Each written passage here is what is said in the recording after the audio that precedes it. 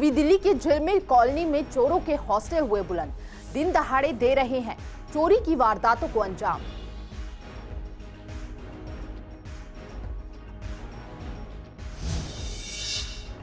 खजूरी खास थाना पुलिस ने गैंगरेप के आरोपियों को किया गिरफ़्तार। डांस शो के बहाने हरियाणा से दिल्ली बुलाकर किया था गैंगरेप।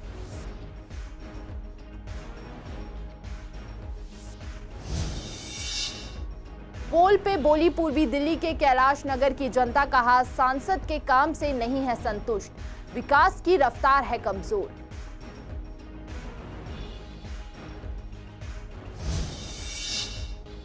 पूर्वी दिल्ली के विश्वास नगर में गंदे पानी से लोग परेशान। गंदे पानी की वजह से लोगों में हो रही है तमाम बीमारियाँ। फिर भी प्रशासन नहीं दे रहा ध्यान। पूर्वी दिल्ली के सूरजमल विहार में ब्लड डोनेशन कैंप का हुआ आयोजन। लोगों ने बढ़ चढ़ कर लिया हिस्सा, महिलाओं ने भी किया रक्तदान।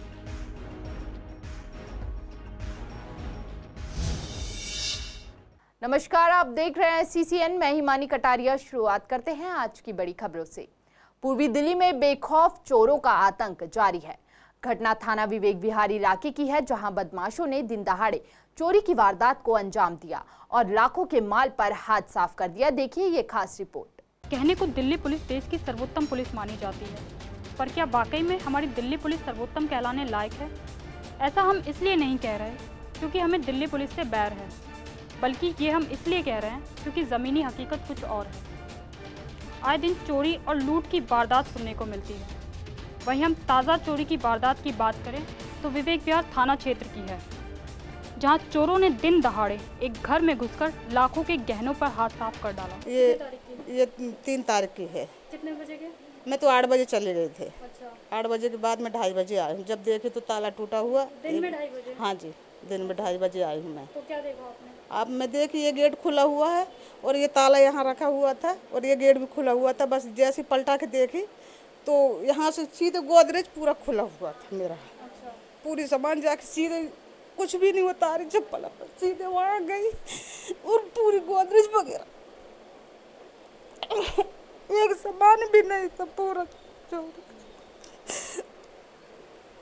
क्या क्या मतलब पूरा घर फैला हुआ था? पूरा घर फैला हुआ था सामान गोदरेज का बस हो गई जिसमें ज्वेलरी वगैरह रखी थी ना वहीं के कपड़े वपड़े गिरे हुए थे और वहीं से सीधे गई गोदरेज में जाके देखी तो ज्वेलरी वगैरह कुछ नहीं थे। हार थी मंगलसूत्र चैन झुमकी मेरी वाली झुमकी मेरी वाली मंगलसूत्र लड़की की भी थी और करधन थे चांदी के पैर पट्टी दो जोड़ी थे। हाँ आज की नहीं लड़की की शादी की पूरी जोड़ी। हाँ उसकी तो एक कुछ भी नहीं बची ना मेरी पूरा सामान चला गया। पुलिस में रिपोर्ट दर्ज हाँ जी पुलिस में आए थे क्राइम ब्रांच वाले भी आए। अभी तक कोई सुराग नहीं मिला। पीड़ित परिवार किसी काम से घर से बाहर गया हुआ होता है पर जब घर लौट कर आता है तो घर का नज़ारा देखकर सन रह जाता है। वगैरह थी मैं तो बच्चों को लेके चली गई थी। तेईस तारीख को गई थी मैं। तीन तारीख की टिकट थी मेरी वापसी की। बस फिर मेरे को पता भी नहीं था। मेरे को तो ये बताया भी नहीं मेरी तीन तारीख की टिकट थी वापसी की। मैं यहाँ के दिन हाँ उसी दिन की घटना हुई है। क्या कुछ ले गए हैं? चोर ज्वेलरी में सारा ही ले जा लिए हैं। दिन है दिन में ही हुई है। तो ये बारह बजे बारह एक बजे के बीच की बात है। बारह साढ़े बारह एक के बीच की बात है। पुलिस ने कुछ काम नहीं किया अब तक? पूछ अब पुलिस ने अभी कोई काम नहीं किया। वैसे आपको बता दें कि झिलमिल कॉलोनी पौष इलाकों में आती है जहाँ चोरी की वारदातें बहुत ही कम देखने को मिलती है। ऐसे में दिन दहाड़े चोरी की वारदात से परिवार भी सख्ते में हैं। और उन्हें उम्मीद सिर्फ़ दिल्ली पुलिस से है। साथ ही पीड़ित परिवार ने पुलिस पर भी सवालिया निशान खड़े किए हैं और कहा है कि अगर पुलिस चाहे तो 24 घंटों के अंदर चोरों को पकड़ सकती है। वहीं पुलिस की माने तो चोरों को पकड़ने की कोशिश की जा रही है। अब देखना ये होगा कि पुलिस कब तक आखिर इन चोरों को पकड़ पाती है। हरियाणा के रोहतक की रहने वाली एक डांसर से गैंगरेप करने वाले तीन आरोपियों को दिल्ली के खजूरी खास थाने की पुलिस ने गिरफ़्तार कर लिया। आरोपियों ने रविवार को कार्यक्रम में डांस करने के बहाने युवती को खजूरी खास बुलाकर उसके साथ गैंगरेप किया था। आपको बता दें कि तीनों बदमाश डांसर को बवाना के एक खेत में बने मकान में ले गए थे, जहाँ तीनों ने डांसर के साथ सामूहिक दुष्कर्म किया। उसके बाद आरोपी खजूरी चौक पर युवती को छोड़कर फरार हो गए। सोमवार को पीड़िता के बयान पर खजूरी खास थाने की पुलिस ने केस दर्ज कर लिया। गुप्त सूचना पर पुलिस ने खजूरी खास से तीनों को धर दबोचा। दिल्ली की सात लोकसभा सीटों पर 12 मई को वोटिंग होनी है। आइए जाने, पूर्वी दिल्ली में राजनीतिक नब्ज कैसी चल रही है। पोल पे बोल पर सीसीएन के रिपोर्टर्स ने जानी पूर्वी दिल्ली के गांधीनगर के कैलाश नगर जाकर लोगों की राय। देखिए, कम से कम इलाके का कुछ काम करें, जो हमारी ज़रूरतें हैं, पानी, बिजली, सड़कें, ये, वो। उसके ऊपर ध्यान दें। ये क्या कि जीतने के बाद लौट के ना आए, बरसों बरस फ़ायदा क्या है ऐसा सांसद हो जो हम लोगों के बीच में ज़रूरत पड़े जो आ सके। मेरे ख्याल से पाँच साल में उनकी तो हमने किसी ने शक्ल भी नहीं देखी। ना वो कभी दुख में नज़र आए, ना किसी के सुख में नज़र आए। जो ये सांसद हैं, ये ना तो कभी किसी से मुलाकात करते हैं, ये अपना अंदर ही एसी रूम में बैठे रहते हैं और लोगों से मिलते भी नहीं हैं। इस बात के लिए मैं एक बात और कहूँगा लोगों से कि लोगों ने इतना बेकार सांसद ये चुना है चुना है सही बात। कि ये लोगों के जो काम नहीं आ सकता ऐसे सांसद के लिए तो मैं एक ही बात कहूँगा कि जीवन में अगर जो कोई भी पार्टी ऐसे सांसद को लड़वाती है तो वो पार्टी फिर बेकार है वो पार्टी जो है ऐसे सांसद को नहीं लड़वाना चाहिए। हमें तो ऐसा लगता है कि हमें जो है गुमशुदा की रिपोर्ट लिखवानी पड़ेगी थाने जा कर के कि हमारा सांसद जो है वो लापता है। क्योंकि हमने आज तक अपने सांसद को कभी क्षेत्र की समस्या के लिए मिलते ही नहीं देखा। और यही कारण है कि बीजेपी जो है अपना सांसद बार बार बदलती है। इस सांसद जो मौजूदा इस टाइम है, उसको भी हमारे यहाँ से बदला जा रहा है, क्योंकि उसका एक भी कार्य ऐसा नहीं है, जो कि जनता उसको दोबारा से चुने। जो हमारे वर्तमान सांसद हैं, उनको जानती तक नहीं है, क्योंकि क्षेत्र से उनकी कनेक्टिविटी नहीं है।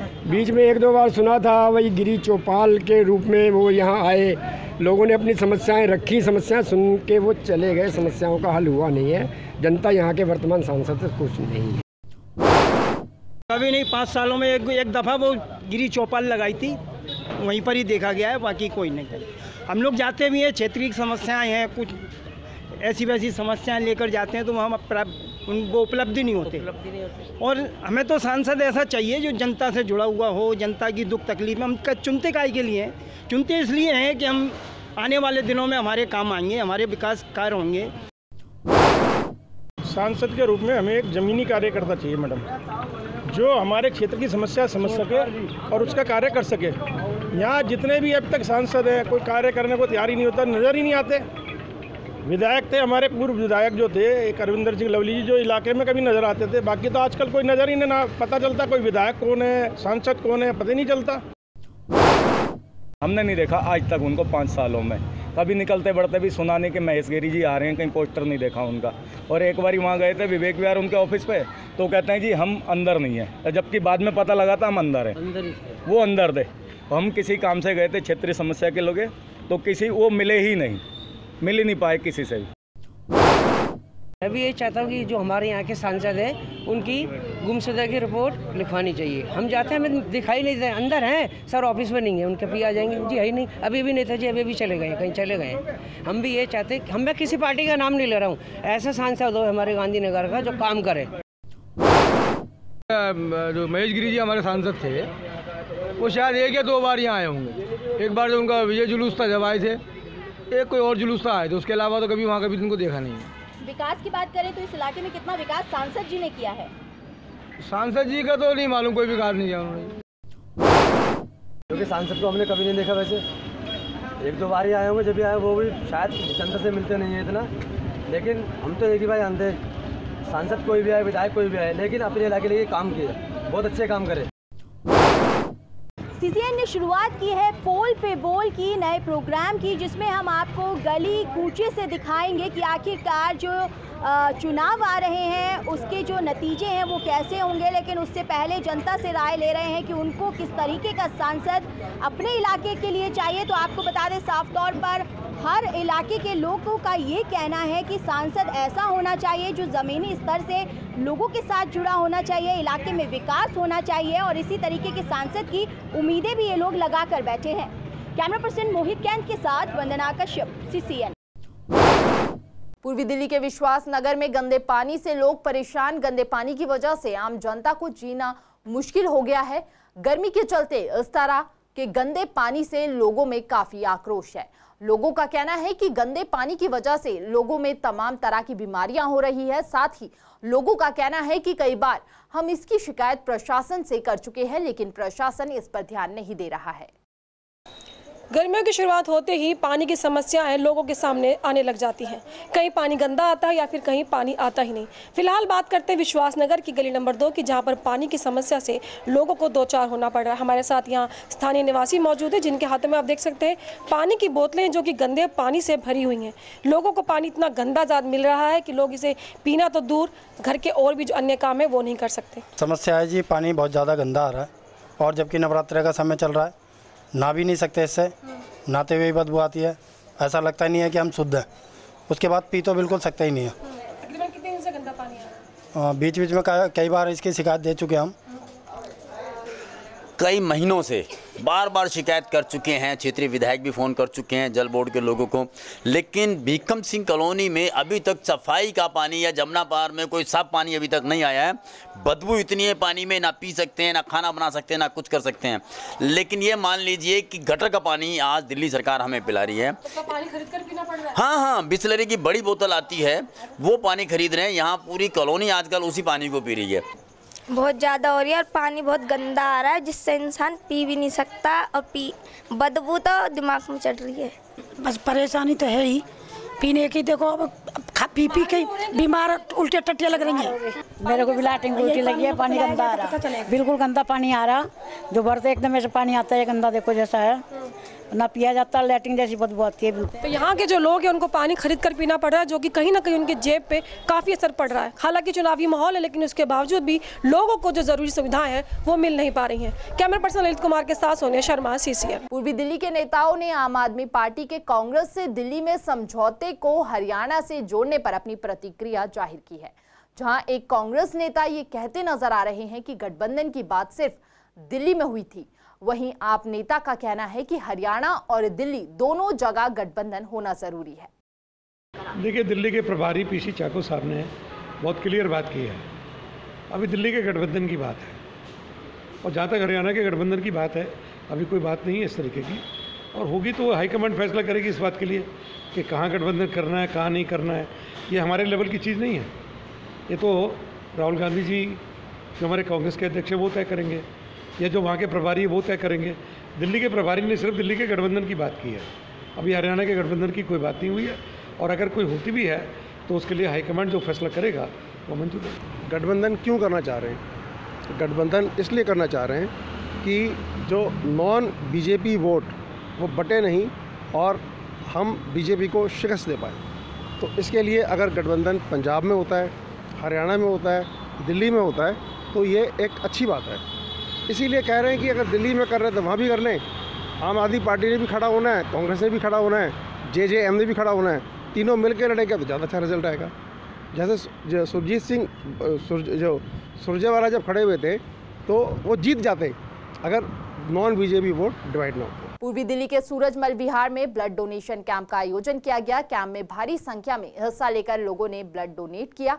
वहीं कैंप में आए लोगों ने एक दूसरे को जागरूक किया कि बढ़ चढ़ कर ब्लड डोनेट कैंप में हिस्सा लेना चाहिए जिससे ज़रूरत के समय किसी की जान बचाई जा सके।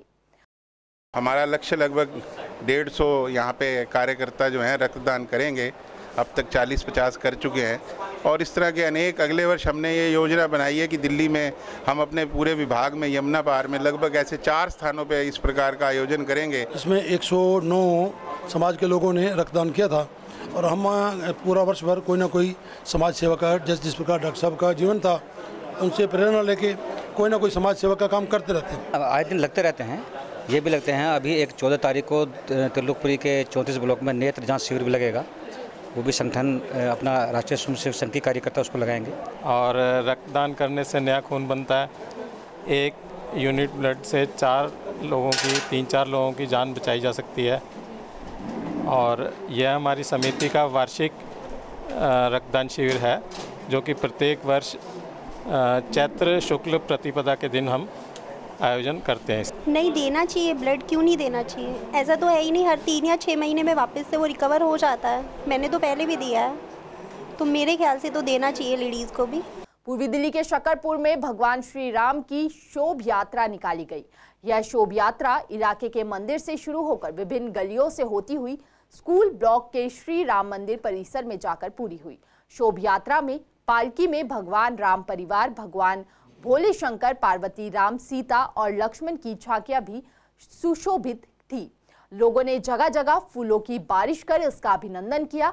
शोभ यात्रा में विशेष बैंड की धुन पर श्रद्धालुओं ने पूरी मस्ती में झूम रहे थे।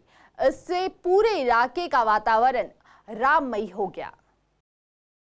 रामनवमी की यात्रा निकाली जा रही है श्री कृष्ण मंदिर सकरपुर की ओर से। 50 साल का शानदार इतिहास है जो इतनी भव्य आप यात्रा देख रहे हैं। हम लोगों को सुविधाएँ देते हैं, साथ ही हम लोगों के लिए भक्ति का भी बहुत बढ़िया हमारे दो बार कथाओं का आयोजन होता है। लोगों को सुविधाएँ देते हैं। सकरपुर के बहुत लोग हमारे साथ उत्सुक होते हैं जुड़ने के लिए इसी हर साल जो है पावन पर्व, ये त्रेता युग से, राम जी कब आए थे? त्रेता युग में। तभी से अब नवमी आ रही है कि दो ही अवतार हुए हैं, हर माँ के पेट से और आया है। पर ये दो अवतार माँ के पेट से नहीं आए, ये तो प्रकट हुए। रामायण में पढ़ो, भय प्रकट कृपाला, दीन दयाला। है ना? ऐसे ही हमारे भगवान कृष्ण भी और प्रकट हुए। हाँ सब हर साल। फ़िलहाल पूर्वी दिल्ली खास में इतना ही। देश और दुनिया की तमाम खबरों के लिए बने रहिए सीसीएन के साथ। नमस्कार।